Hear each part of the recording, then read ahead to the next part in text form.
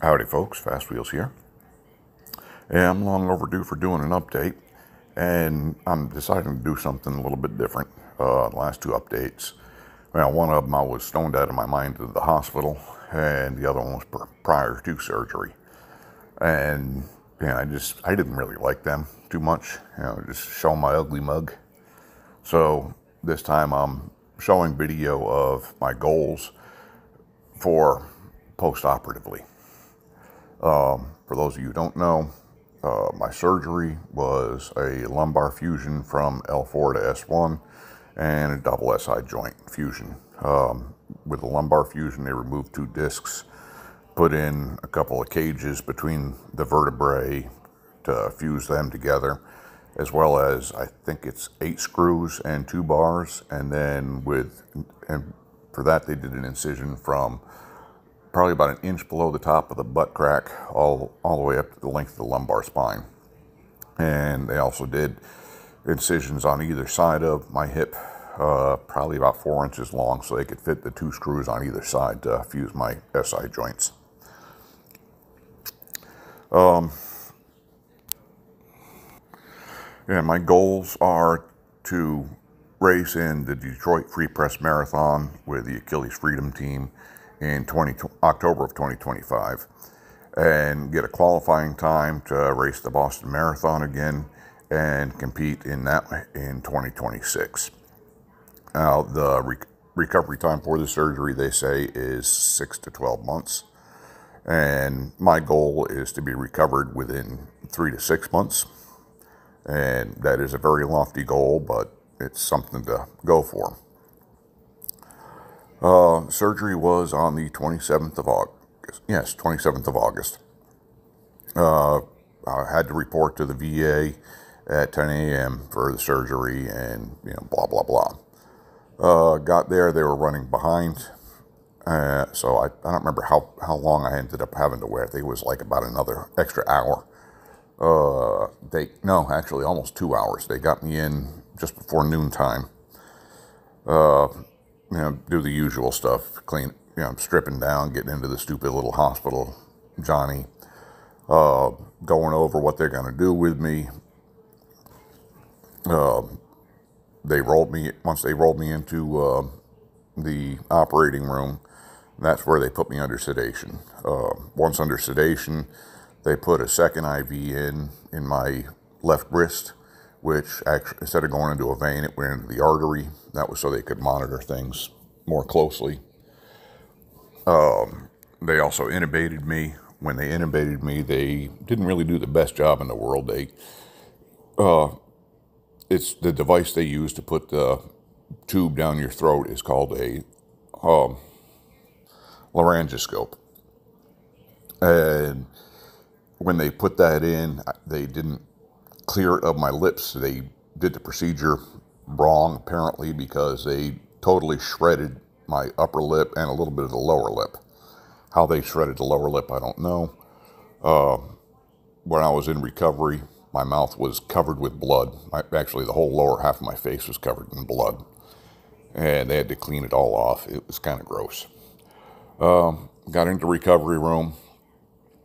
Had definitely groggy. Uh, dry throat from being intubated, kind of sore. So lots of ice chips. Uh, eventually, I ended up um, vomiting a little bit. Just you know, reaction to all the medications, normal stuff.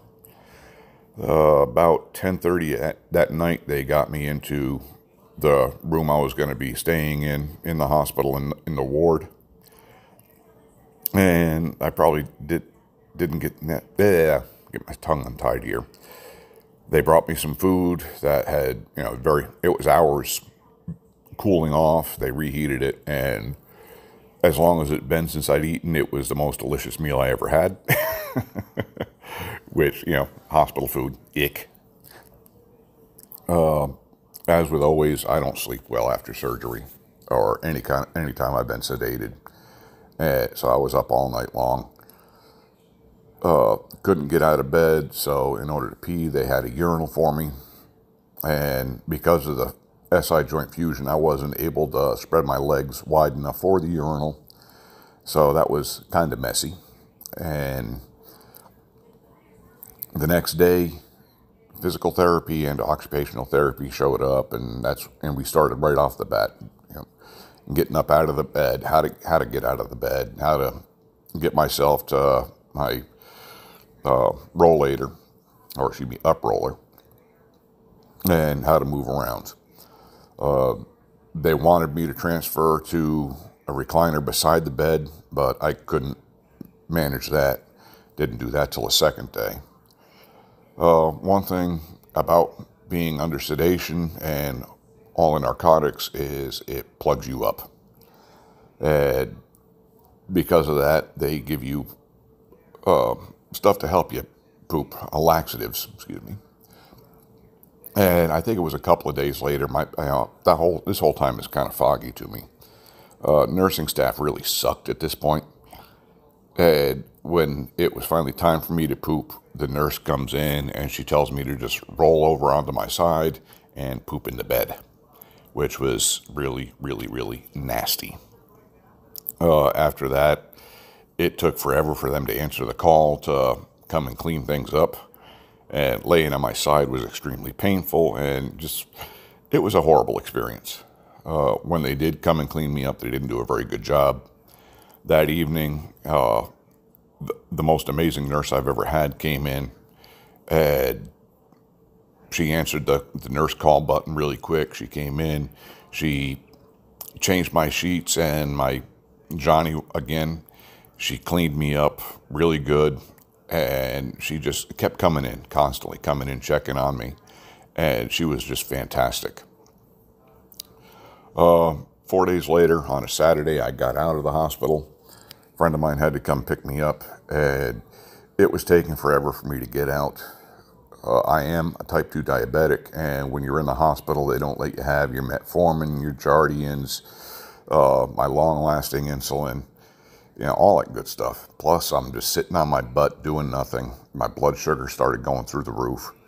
And I had to skip lunch on Saturday and even still just constantly waiting and waiting and waiting and i finally got my blood sugar into the 200s i think it was like 280 something or other at, where they would allow me to be discharged um, the ride home was rough it was extremely painful getting into the wheelchair uh, every time there was just the tiniest bump it hurt but got home without much of a problem got into the house and got myself put into my recliner, and that's basically where I lived for the next two days.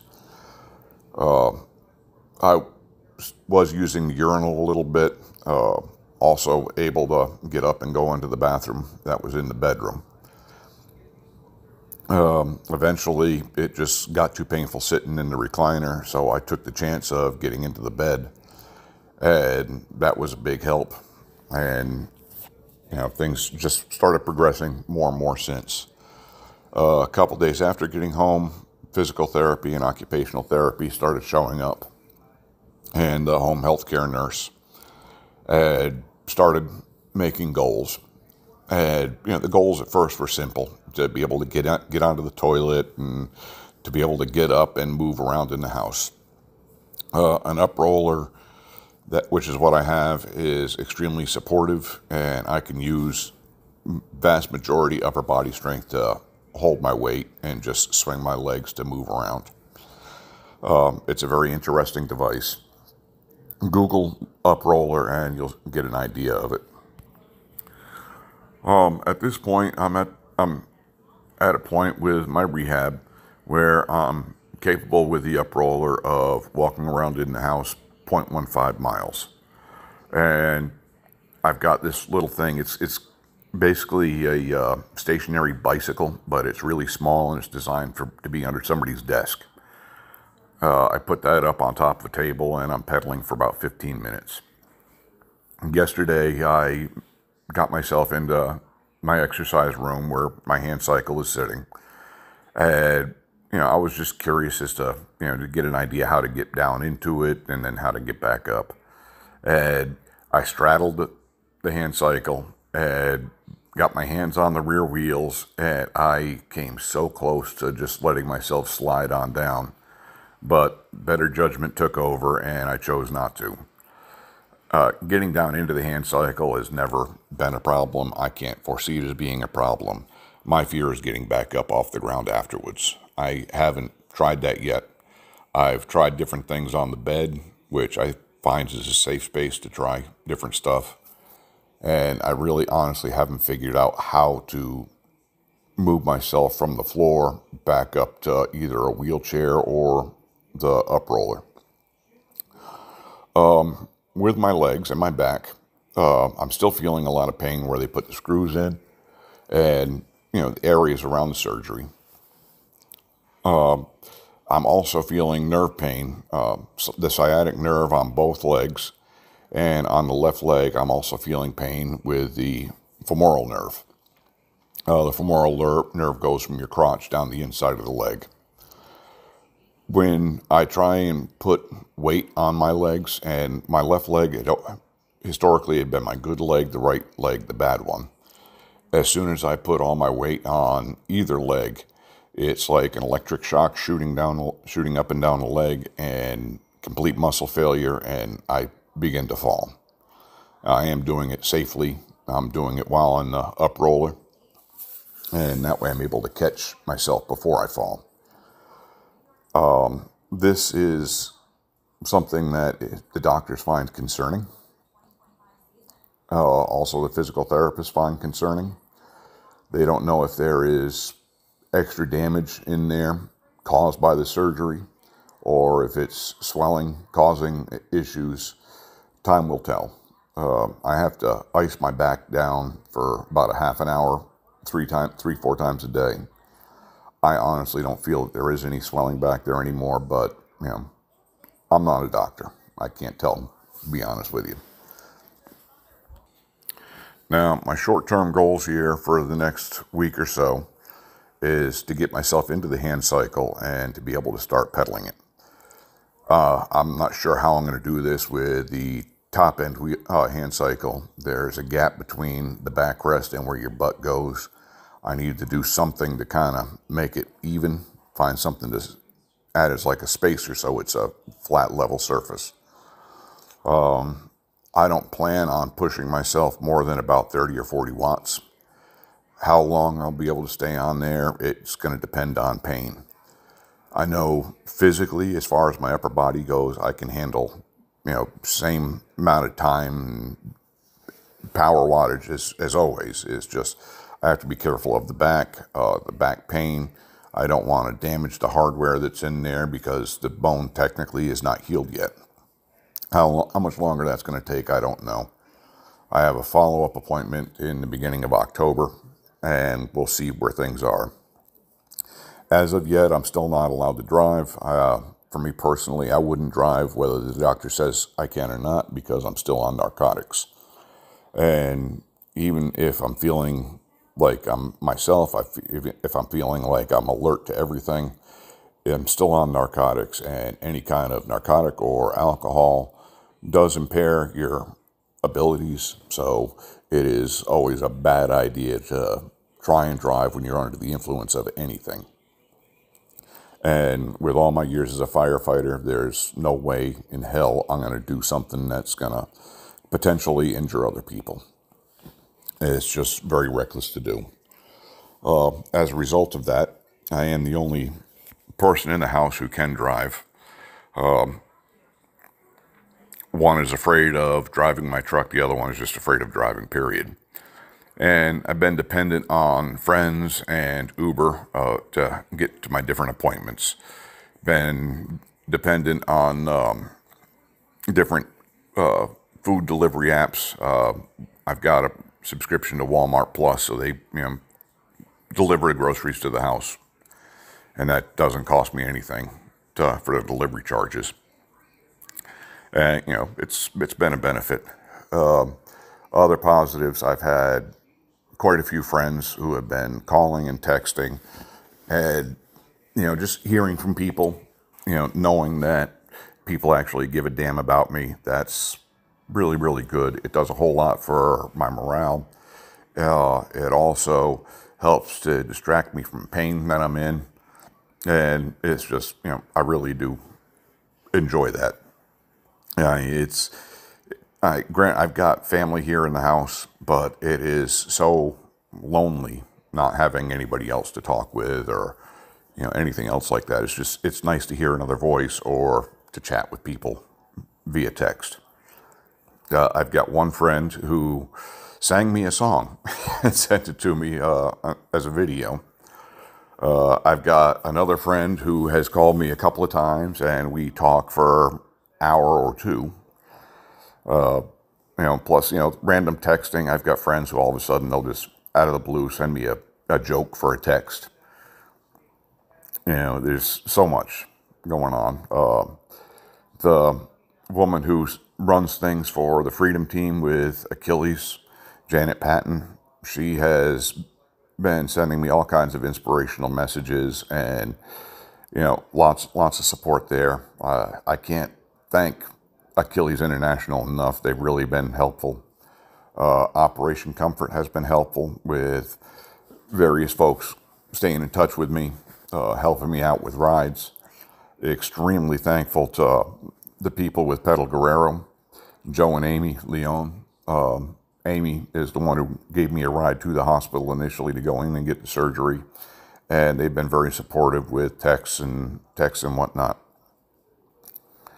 Um, as I said, my short-term goal here is to get back on the hand cycle. Uh, I'm hoping that within the next couple of weeks here, I won't need to be taking the pain medication and be able to drive again. Um, looking forward to my follow-up appointment with the doctor. Uh, it's voting time, and next month I plan on getting into early voting and getting it over and done with. Uh, get out and vote. If you don't vote, you can't really complain about things that are going on. That's my little quick little blurb about voting. Um, and you know, like I said, driving, riding. Uh, midterm goals is to actually be able to get outside on the trails to ride. And, you know, like I said, by October of 2025, racing in the Detroit Free Press Marathon.